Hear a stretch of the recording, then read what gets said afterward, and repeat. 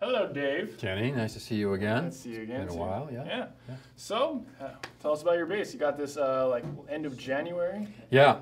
Well, like many professional musicians, I have a handful of instruments, and at one point I realized I wanted a really great high-end jazz bass five-string. Right. And I, you know, like many people, asked around. Travis Carlton, some friends of mine said, "Yeah, look into Xotic." So uh, came over and played this thing and fell immediately in love. It sounds great. Uh, it's the prototype, I guess, version, which is a little bit lighter. Apparently, I was It's told that thinner. shave the body a little bit by an eighth of an inch or something yeah, like that. very little. And one of my concerns right off the top was, is it going to hang right uh, because of the lightweight? I guess this is aluminum bridge, and that also shaved off some weight. And so that was one of my concerns, but boy, it just hangs perfectly. It, it, it's very comfortable, and uh, the weight is spectacular, under nine pounds, eight and a half pounds yeah, or something. So um, it just it just hangs and feels beautifully, which wouldn't matter one bit of to me, truthfully, if it didn't sound great Right. because uh, that's not the primary issue. The primary issue is does it feel and sound great, and this bass absolutely does. I mean, it's without a doubt, uh, you know, a, a spectacular five-string jazz bass kind of a thing. The low B still rumbling nice. Yeah, that was another concern, truthfully, because I have some 35 scale basses that have just great B strings. So, and this is a 34 bass, like a jazz bass. Mm-hmm. And I was a little concerned that maybe that was going to be an issue, but as it turns out, it's not. The B string is spectacular. Not, no dead spot anywhere on the. No, the, the neck the neck is true and everything is clear and present and it sings and it's absolutely great. How's it in the studio? It? A couple, three, four engineers have said to me, "Wow, what is that?" Because they didn't know, unfamiliar with the company, Right, sure. and they were both uh, two or three of them were just like, "Wow, that is just so balanced, low to high. It speaks pretty evenly, records like a dream. Absolutely beautiful. Yeah, absolutely beautiful." How do you think of the preamps? Do you ever mess around with it? Well, again, since I'm sort of the old school uh, uh, of passive bass guy, I never really was into radical EQing. Sure.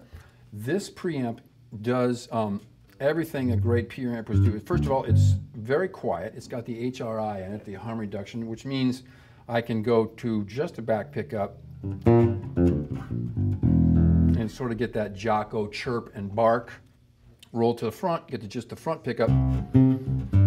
Got a very convincing P bass sound. I mean, really, really spot on. So um, that part is great. More or less, I'm most of the time just running both pickups um, in, in equal balance.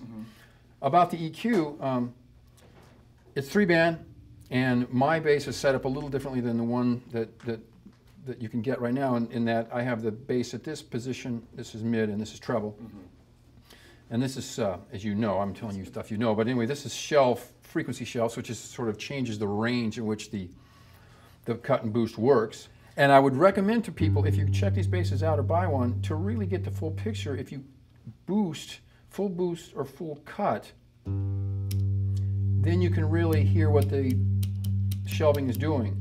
Um, I don't often do much radical EQing. I, I, you know, it's all room dependent, situation dependent. So if I'm in, a, in an environment where I feel like I need a little more treble um, or a little more or a little more bottom, it's it's there. This preamp works spectacularly, and I can bring it in more or less most of the time. I'm pretty flat, little bit of, of boosting going on, maybe a little cutting, something. But uh, truthfully, the bass sounds so great flat that that is 90% of what I do. You know? So overall, you're just loving the bass. Love the bass. I mean, like I said, it, it's it's a great finger sound. It's a great um,